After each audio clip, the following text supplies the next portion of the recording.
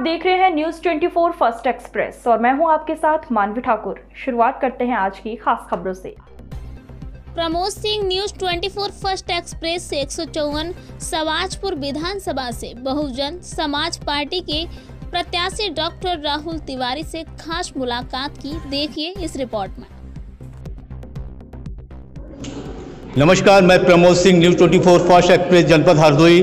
और आज मुलाकात करते हैं एक सौ चौवन विधानसभा क्षेत्र सवाजपुर से डॉक्टर राहुल तिवारी जो बहुजन समाज पार्टी से प्रत्याशी हैं उनसे मुलाकात करते हैं। डॉक्टर साहब को नमस्कार। डॉक्टर साहब चैनल में आपका बहुत बहुत स्वागत है। धन्यवाद।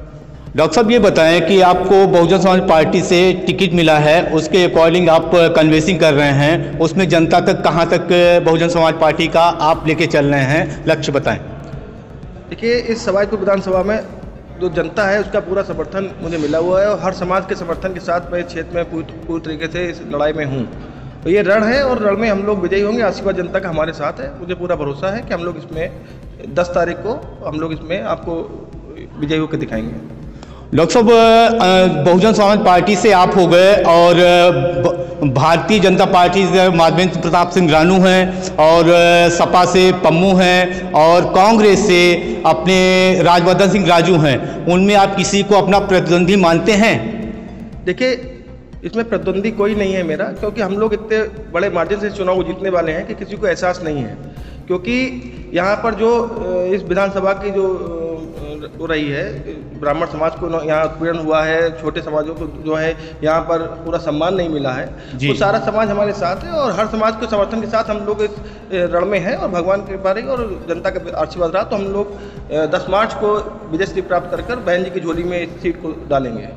डॉक्टर साहब ये जो अपना बहुजन समाज पार्टी से आपका कुछ एजेंडा होगा कुछ पार्टी की नीतियाँ होंगी जो आप पब्लिक को बता रहे हैं उनमें क्या नीतियाँ हैं बताएँ।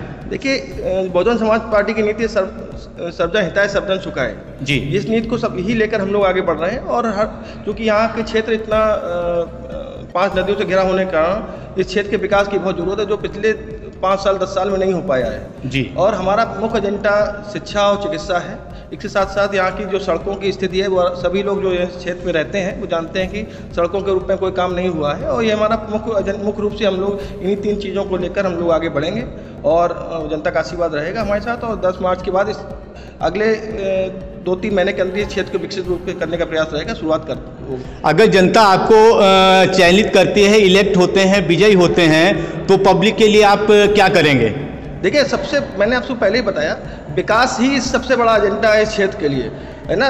रोज़गार के लिए भी बहुत सी चीज़ें हैं जो करी जाएँगी और सबसे वही विकास का एक हिस्सा है और हम लोग इस क्षेत्र के लिए विकसित करके ही रहेंगे। यही हमारा पाँच अगले पाँच सालों में क्षेत्र को एक नई ऊंचाई तक पहुंचाना ही हमारा सपना है उसको पहुँचाने के पूरे प्रयास करूँगा। बहुत बहुत दो तीन महीने के अंदर इस क्षेत्र को विकसित रूप से करने का प्रयास रहेगा शुरुआत कर अगर जनता आपको चयनित करती है इलेक्ट होते हैं विजयी होते हैं तो पब्लिक के लिए आप क्या करेंगे? देखिए, सबसे मैंने आपको पहले ही बताया, विकास ही सबसे बड़ा एजेंडा है इस क्षेत्र के लिए, है ना?